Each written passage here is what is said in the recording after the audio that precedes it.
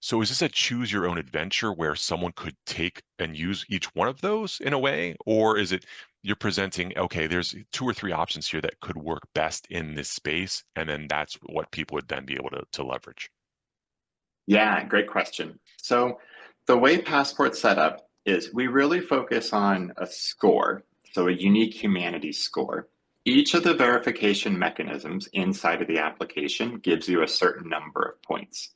Um, KYC usually is a very strong signal. And so um, we set the goal for the entirety of the application to earn 20 points. As soon as a partner has a wallet, so another one of their users with a score above 20, they know that they can trust that there's most likely a real human behind that particular wallet. And I love that you brought up the ENS as a possibility too, because uh, for those of you less familiar, ENS is uh, the Ethereum name service, essentially like .com. You can have whatever .com, but it's whatever .ens, and people could then send assets to that, or you can use that as a verification of who you are uh, potentially.